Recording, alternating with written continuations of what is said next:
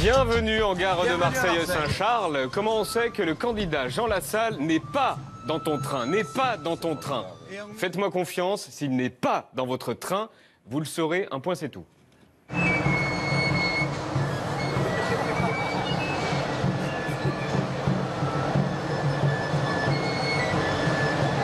Jean Lassalle était hier à Marseille et comment savoir si Jean Lassalle est dans votre ville? C'est facile. Il ne se trimballe pas sans son troubadour. toujours été formidablement accueilli à Marseille. Voilà. Puis j'aime aussi leur couleur. J'aime le, le Vélodrome, j'aime euh, l'OM. Jean Lassalle, le seul candidat qui refile son portable à tout le monde. Je devais mon téléphone parce que tu vas me l'envoyer. Ah oui. Parce que je supporte plus que non. Allez, envoie-moi, parce que ça c'est mon portable déjà par SMS, tes coordonnées. Et il est le seul candidat qui ne fait pas de selfie, mais des... Tu veux qu'on fasse un selfie Qu'on fasse un selfie Le. Pendant ce temps, on a trouvé, on a enfin trouvé les critères de casting du NPA, les noms de famille. Le candidat s'appelle Poutou.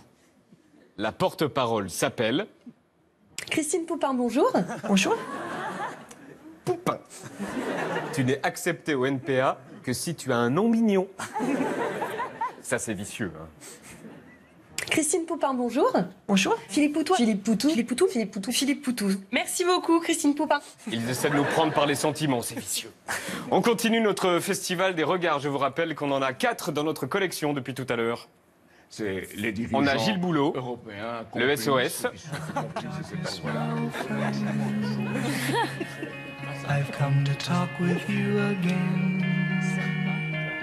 Because a vision softly creeping left its seeds while I was. On a Anne-Claire Coudray face à Asselineau. vision that was planted in my brain. On a Bourdin face à la salle. Ils avaient réfléchi à ça avec leurs magots. of science. Moi je vais leur dire. Et on vient d'en recevoir un autre.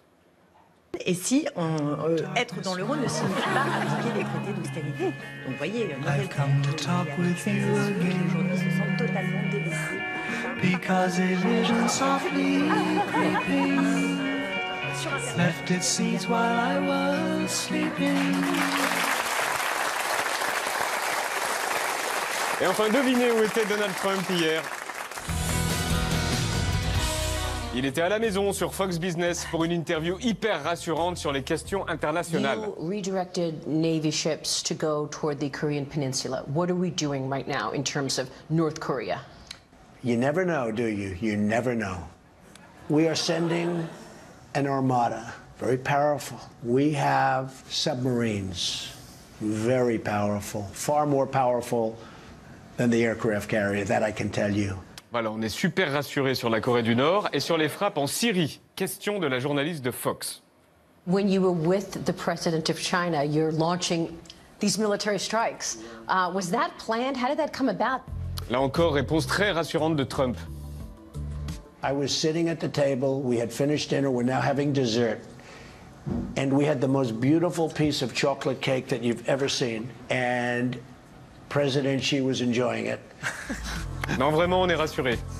As I said, we've just launched 59 missiles heading to Iraq. Well, you headed to Syria.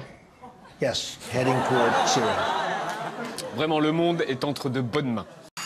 On fait notre collection hier. Nous avons remarqué le regard SOS de Gilles Boulot face à Cheminade. Qui se sont fait complices de cet Darkness, ordre-là. my old friend.